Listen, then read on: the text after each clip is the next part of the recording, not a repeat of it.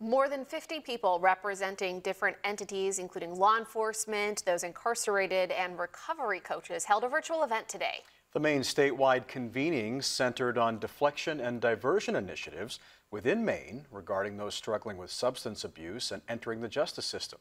Kodichi Lawrence reports.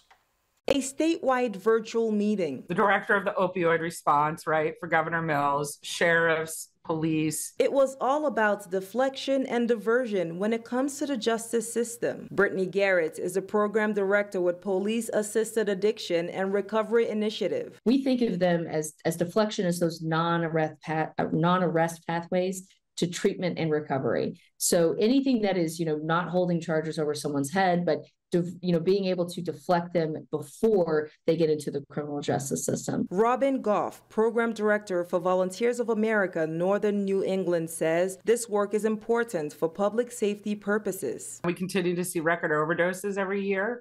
Uh, our jails are overcrowded. Uh, people are being released with no resources. Maine saw a record number of overdoses in 2021 with 627 deaths reported. Goff says people may not understand the impacts of a arresting even one person with substance abuse. So, say you've got mom and dad and their kids at home, and somebody's arrested and they go away for a sentence. There's now only one income into the household. The children are experiencing diverse childhood experiences by a loved one being in incarceration. She says it may also result in families turning to state resources. What's worse, she says, is it becomes a cycle when an individual ju- does get out of a period of incarceration and they're on probation and they have no license and they have no vehicle and you know there's these requirements of, of you've got to come report to probation and they can't get there they're violated they're back in jail. Garrett says it is all about looking for solutions. Coming together and talking about what they're doing